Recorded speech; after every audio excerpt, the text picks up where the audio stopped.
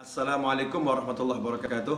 Kaum muslimin dan muslimat, teman-teman di mana pun anda berada bersama saya Novel Alidrus kita akan kembali belajar hukum membaca Al-Quran tanpa berwudu ya perlu dicermati dan perlu dipahami bahwasanya yang dilarang adalah memegang mushaf tanpa wudu kalau kita pegang mushaf maka kita wajib dalam keadaan suci dari hadas besar maupun hadas kecil.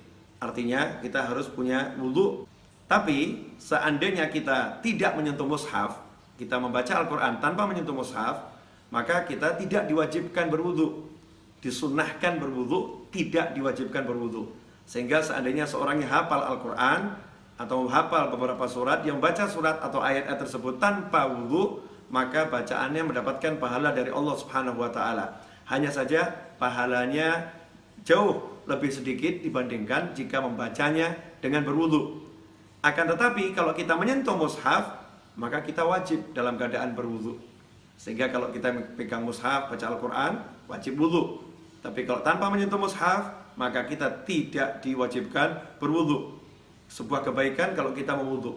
Dalam sebuah riwayat disebutkan Khalifah Ali bin Abi Thalib karramallahu wajhah menyatakan siapa yang baca Al-Quran dalam keadaan berdiri dalam sholat, sholat sunnah itu boleh berdiri, boleh duduk kalau sholat fardu wajib, maka bagi yang mampu wajib berdiri. Yang nggak mampu, boleh tidak dengan berdiri.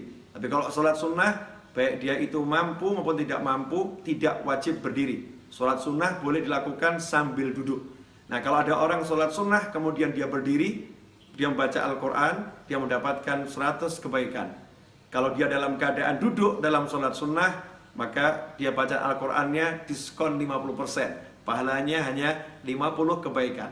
Sementara kalau dia membacanya di luar sholat, dalam keadaan berwudu, dia mendapatkan pahala 25 kebaikan. Kalau dia membacanya di luar sholat, dalam keadaan tidak berwudu, maka dia hanya mendapatkan 10 kebaikan.